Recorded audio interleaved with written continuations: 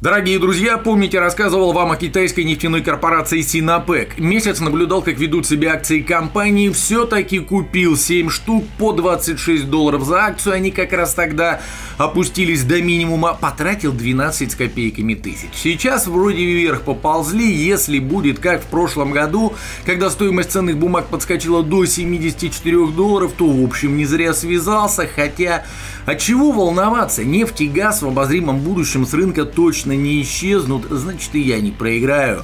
Нужны подробности? Переходи по ссылке в описании. Китай представил широкой общественности новый концепт левитирующего поезда или поезда на магнитной подушке, способного разгоняться до 1000 км в час. Это, в общем, скорость самолета. Уже в 2020 в Поднебесной появится экспериментальный участок – железной дороги, на котором такие поезда будут проходить испытания. Зачем ты нам все это рассказываешь, спросите вы, российским-то железным дорогам подобное вряд ли грозит. А дело в том, что я уже когда-то читал об этом только в отношении нашей страны. И знаете, когда читал-то? В 1989 году в журнале «Пионер». Это вообще были советские разработки – Называлась такая штука магнитоплан, и там в «Пионере» писали, что вот очень-очень скоро мы на таких магнитопланах будем передвигаться по просторам нашей необъятной родины. Прошло 30 лет, и... А дело в том, что все эти годы мы активно вставали с колен.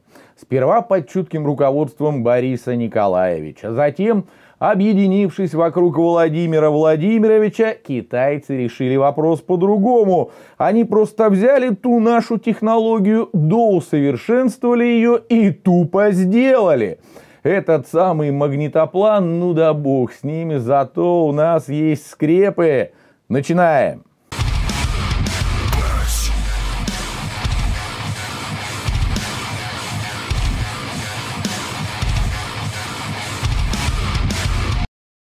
А еще у нас есть бессменный премьер Медведев, который вообще любые проблемы на раз-два решает. Да так он это оригинально делает. Пример, пожалуйста. Придумал однажды глава правительства, как сократить число разводов Великой и Могучей. Не знаете эту историю? А давайте, предложил он, увеличим размер госпошлины для желающих разорвать семейные узы с 400 рублей до 30 тысяч. Вуаля, проблема тут же отвалится. Кстати, по такой же схеме, господин Медведев, можно ведь и со смертностью бороться. Ну, оценить там стоимость получения свидетельства о смерти тысяч, скажем, в 50. Все, народ наш сразу в долгожителей превратится – не нужно никакого реформирования здравоохранения. Об экологии думать не придется, просто щелкнул пальцем, пошлину неподъемную запузырил и... Легким движением руки брюки превращаются... Брюки превращаются Впрочем, смех смехом, ведь Медведев с товарищами по партии действительно на поток подобный подход к любым вопросам поставили. Ну вот вам еще пример. Предлагаю снова вспомнить последнюю, я надеюсь, пресс-конференцию Дмитрия Анатольевича, где в числе прочего говорили и о безработице. Безработица в нашей стране в последнее время была низкой, в районе 5%, а в этом году будет еще ниже. Где-то 4,6-4,7 от э, экономически активного населения. Э, и эта цифра рассчитанная по методике Международной организации труда. Да нет, вот тут, простите, поспорю, потому что эта цифра рассчитана на дураков. И для того, чтобы вы поняли, что именно я имею в виду, предлагаю вернуться на один год назад – Тогда еще принимали закон о так называемых самозанятых. Никто не помнит, что говорили в тот момент авторы этой замечательной инициативы, в том числе премьер Медведев, забыли уже. А я вам напомню, ребятишки сетовали, что у нас целая куча граждан трудоспособного возраста вообще никак и нигде не оформлено, непонятно, работают эти люди, не работают. Внимание! Просто хочу напомнить, что у нас с вами в числе лиц трудоспособного возраста по статистике 82 миллиона человек. А работающего населения, за которое платят страховые взносы, 52 миллиона. Вот 30 миллионов, они где-то. 30 миллионов человек, друзья, вот такая цифра тогда называлась. 30 миллионов россиян, которые по сути и являлись безработными, не согласны? Ну если человек не трудоустроен, он кто? Так вот, 30 миллионов таких было, повторюсь, прошел год, у нас безработица 5% всего или, если в людях посчитать, чуть больше 4 миллионов граждан не удел остаются, а еще 26 куда девались? Давайте попытаемся накидать варианты. Эти люди эмигрировали. Так нет, там что-то миллион с небольшим всего уехали, и то больше, чем за год.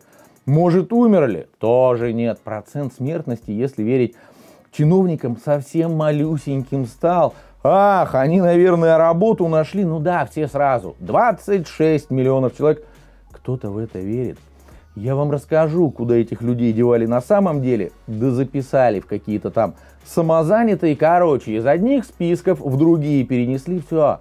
Нет человека, нет проблемы, кручу, верчу, запутать хочу, что-что. А бумажки рисовать слуги народа российского всегда умели, браво.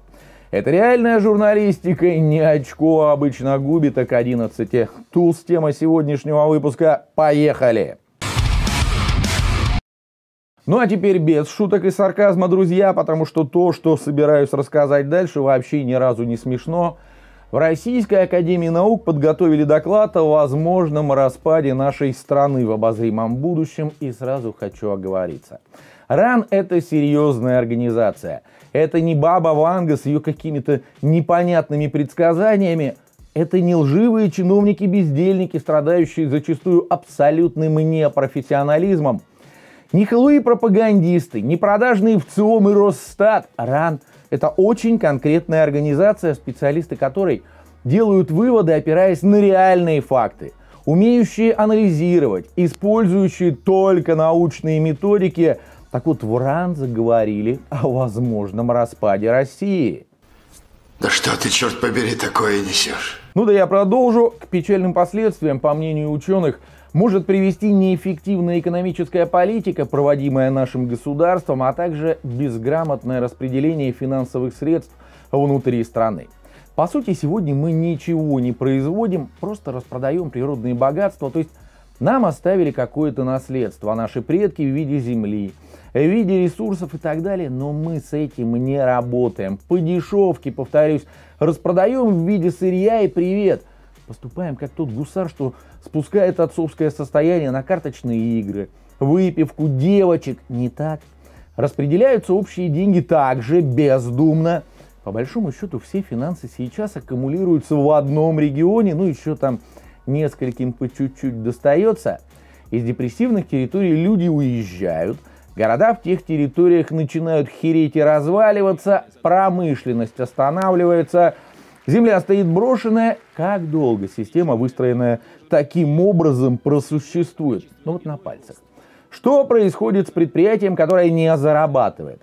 Которое живет за счет распродажи активов, остатков готовой продукции, площадей, акций своих, затем мебели, оргтехники, да оно схлапывается. Почему же тогда экономика целого государства может жить по каким-то другим законам? Мы одинаково понимаем то, какой не должна быть наша страна. Она не должна быть слабой, бедной, неэффективной, расползающейся на части. Она не должна страдать от технологической отсталости, от произвола чиновников, от коррупции, от терроризма. Она не должна быть в изоляции.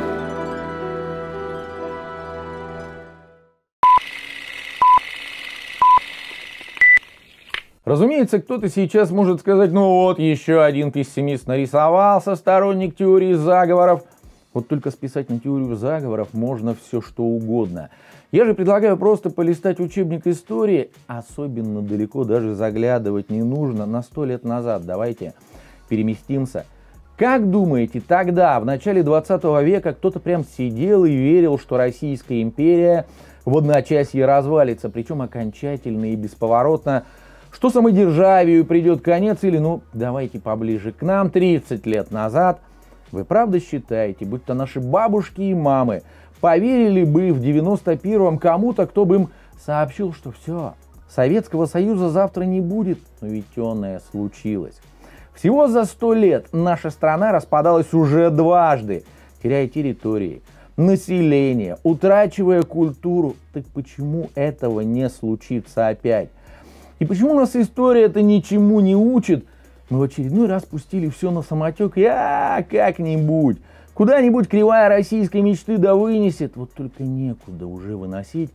Но самое печальное, что каждый раз в причинах распада собственной страны мы пытаемся обвинить кого угодно, только не самих себя. Рухнул царский режим, это иностранный агент Ленин с немцами виноваты. Грохнулся СССР, это все происки америкосов и демократов. Виноват был постоянно кто-то, только не наши власти. Только не наш пассивный народ, и вот опять мы вокруг тех же граблей тусуемся. Россия в очередной раз потихоньку накрывается медным тазом стабильности, но нет. Рулевые снова ни при чем, мы сами снова не при делах. Вот, блин, у меня кот молодой дома живет, но даже он научился понимать, когда и что он делает не так. Сразу чувствует свою вину. Русскому человеку, видимо, научиться анализировать гораздо сложнее, чем моему коту. Все. Это была реальная журналистика. Дальше сами все знаете. Ссылка на YouTube страничку сверху, в соцсетях тоже жду.